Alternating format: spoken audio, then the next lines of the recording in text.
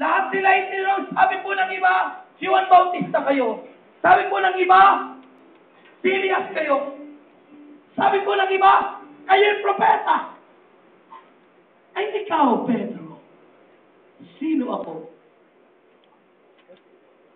Nag-isip pa ba si Pedro? Hindi na po nag-isip si San Pedro. Bakit? He always opened his heart to God. Ang taong laging bukas ang puso sa Diyos na nakareceive ng revelasyon.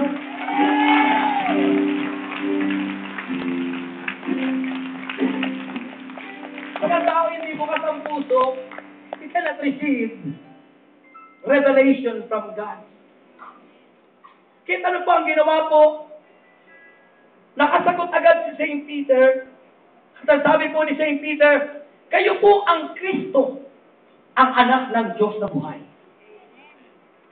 He recognized Jesus, the authority of God that God gave to Jesus.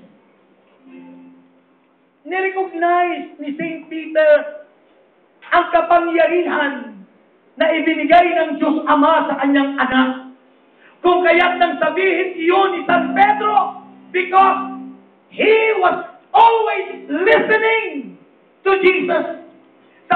Sa pangangaral ni Kristo, lagi siyang nakikinig. Alam niyo po, ang sabi ni Jesus Christ, mapalad kang nakatulog na. Mapalad ka. Ah, hindi po yun. Ang sabi ng Panginoon, mapalad ka, Simon Pedro. Mapalad ka. Bakit? Ang taong mapalad, pinagpala. Pag sinabing mapalad, you are blessed. Pag ang tao ay blessed, tulad ni Mama Mary, punong-puno ng grasya.